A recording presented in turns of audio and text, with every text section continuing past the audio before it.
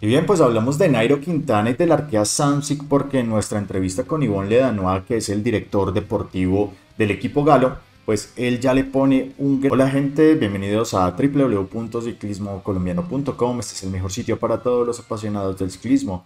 Yo soy Andrés Álvarez y les vengo a hablar de las palabras que, que tuvo Filippo Gana con Egan Bernal respecto a ese gran duelo con Primos Roglic, bueno, esa batalla más bien con Primos Roglic y Tadek Pogacar, pues varios ya se han preguntado cuál, cuáles son esos ciclistas, cuál es ese ciclista que le puede acercar a los eslovenos, que puede irse de frente frente a ellos, competirles de la mejor manera y muchos aseguran que Egan Bernal puede ser uno de esos ciclistas. De todas formas, el corredor italiano, que es el actual campeón del mundo en la contrarreloj, estuvo hablando de varias cosas en una entrevista con el diario marca. Lo primero es que va a intentar el récord de la hora en 2022.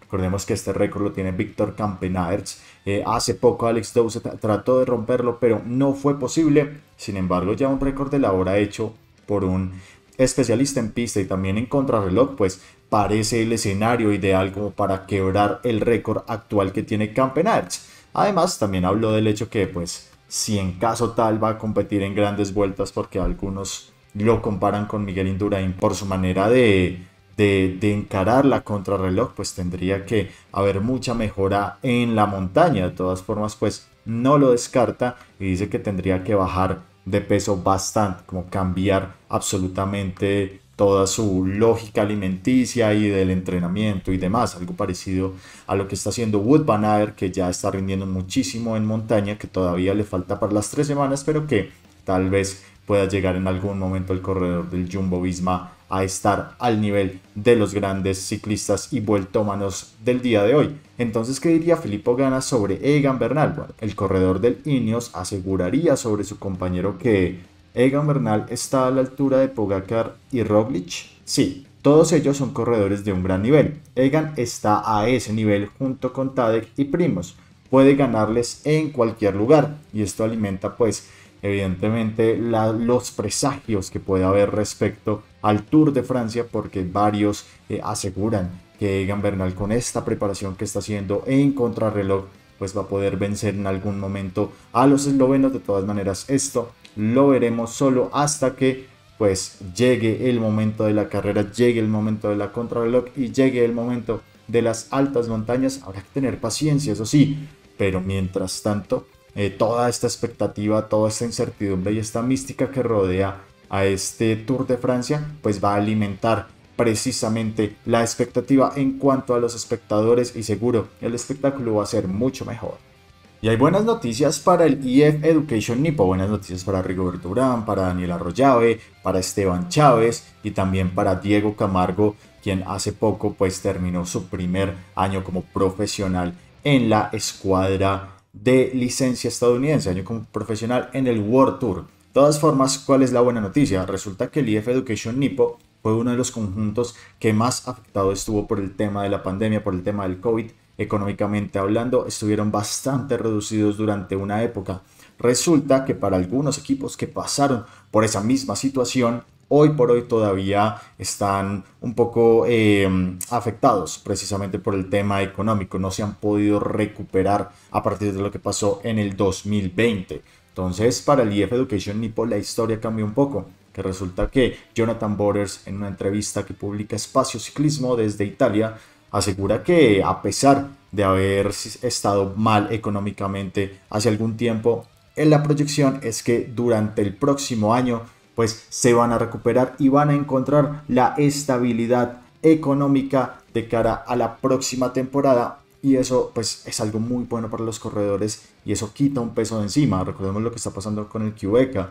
Resulta que una crisis económica puede afectar el rendimiento físico de los corredores, pero ahora el EF Education Nipo está encontrando un punto estable económicamente y esto significa que pues evidentemente el tema pinta para bien en este equipo estadounidense. Vamos a ver eh, si el otro año estas buenas perspectivas económicas se reflejan en la pista, en la carretera, donde pues tienen que conseguir triunfos. Digamos que este año no fue el año de los podios en las grandes, no estuvo muy cerca Rigoberto Urán, al final pues cayó eh, en un par de días malos y esto afectó bastante al grupo. Hugh Carey pues no se mostró en la Vuelta a España. Y bueno, veremos si de cara al próximo año el EF Education Nipo puede encontrar nuevamente el camino a estos grandiosos triunfos y a esa muestra de calidad que lo pueda llevar precisamente a un podio en una gran.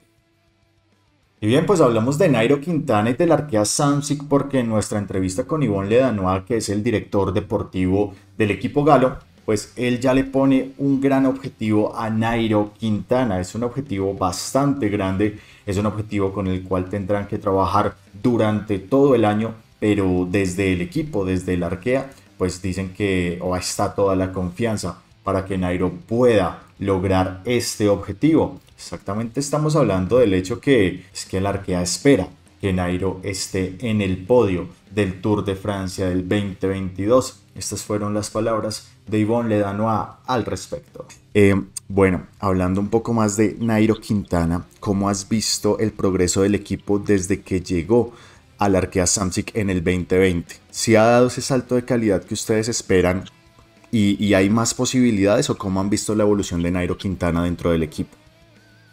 Bueno, depende primero de, Nairo, sobre todo de, él, de, ver un poco su ambición para los próximos años, no solamente 22.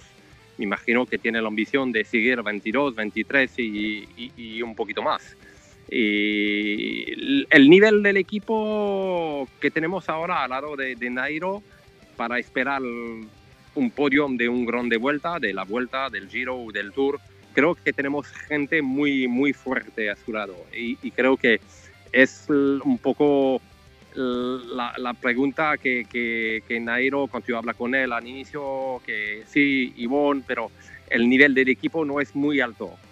Como yo le digo, mira el nivel de, de, Ineos con Bernal a la vuelta. ¿Qué crees? Que, que no hay un equipo siempre con un nivel muy, muy alto durante toda la temporada, Nairo. Y creo que si tenemos objetivo muy claro contigo podemos ver un grupo muy fuerte siempre aturado, podemos esperar un buen resultado.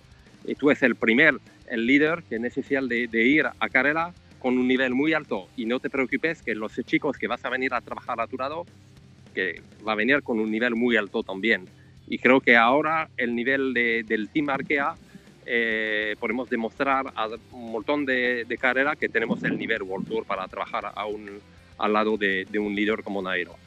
Bien muchachos, finalizamos entonces con las declaraciones que dio Machín eh, sobre Marc Soler. Resulta que pues el corredor del Movistar Team, actualmente en el Movistar Team, va a terminar su contrato este año con los telefónicos y de cara al próximo año se va a ir al UAE Team Emirates. Entonces parece que ya los tres líderes del equipo eh, podrían estar marcados. Primero ya vimos que Joao Almeida puso su enfoque en el Giro de Italia, entonces él va a ser el líder de esa carrera para los Emiratis, Tadej Pogacar por supuesto va a estar en el, en el Tour de Francia y tal vez, según las palabras de Machín, hay posibilidades que Marc Soler pueda liderar al equipo y tal vez eh, digamos que el objetivo esté marcado para la vuelta a España. De todas formas, seguramente tanto Joao como Tadek tengan posibilidades de hacer doblete y sea la vuelta a España esa segunda gran carrera que puedan disputar.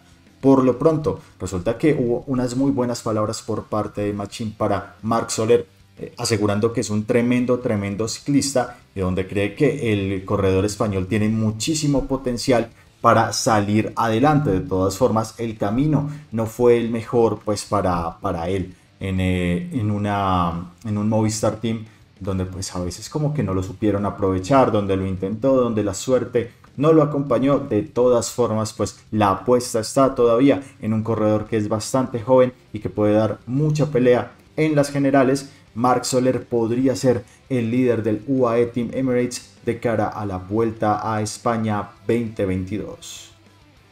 Y recuerden muchachos que todas las noticias, eh, todas las curiosidades, los análisis, las opiniones lo pueden encontrar en nuestro portal www.ciclismocolombiano.com. Yo soy Andrés Álvarez. Seguiremos hablando del deporte más bonito del mundo, el ciclismo. Chao, chao.